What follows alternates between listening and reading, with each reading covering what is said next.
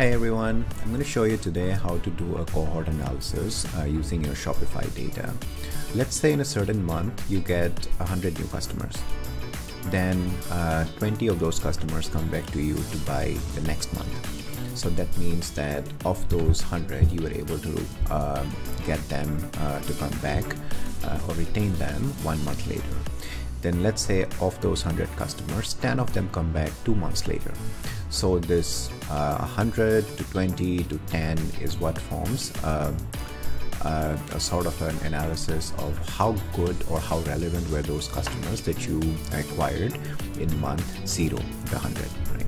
So if you acquired the right kind of customers or the ones that truly see value in your product uh, or in the products that you sell, then uh, a bigger proportion, a higher proportion of them will keep coming back to you every month. Um, so let's see how we can do this um, analysis with uh, your Shopify data uh, using Airboxr. So this here on my screen is uh, the login screen for Airboxr. I'm just going to log in using my Google account.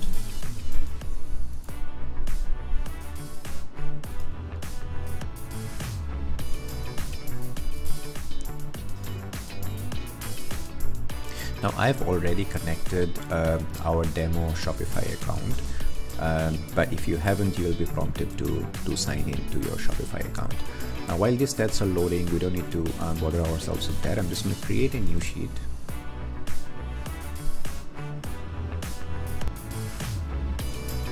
And look for a hop or an automation called cohort analysis. Just going to run this here. I can run this on a new spreadsheet or on the same sheet. Um, I'm just going to select uh, the default option here. Now what's happening here is we're pulling your customers and sales data behind the scenes from your Shopify account. Uh, we're running this uh, conversion of you know new customers, how many came in the next month, how many came in the next month. We're doing this for six months and uh, combining combining them together into one uh, one table. Um, to give you the hot analysis.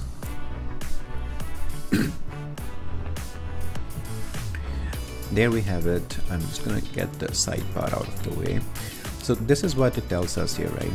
Um, of 100% of the new customers that we got in April, uh, that our demo store got in April, 18%, uh, 18.8% of them came back in May. Then um, in June, 6.3% came back, and somehow in July, more people, uh, you know, twice the number of people came back uh, to purchase uh, from our demo store. Uh, so uh, this gives you a sense of you know how good were the customers that you acquired in April. In May, for example, you see 100% uh, of 100% of the customers, none of them ever came back to us. So maybe we ran a, a campaign, maybe you ran a campaign that wasn't um, as exciting or as compelling for people to be coming back to you. Or maybe you had a, an operational issue which led to a lot of cancellations, and that meant that again, hey, I'm gonna uh, customers are not coming back to you because their first experience with you was not that great. So this is how you use uh, uh, cohort analysis and this is how you get uh, uh the cohort analysis done with nearly a single click uh, using Airboxr. So try it out and if you haven't yet installed Airboxr, just go on to uh, the Shopify App Store and search for Airboxr report automation.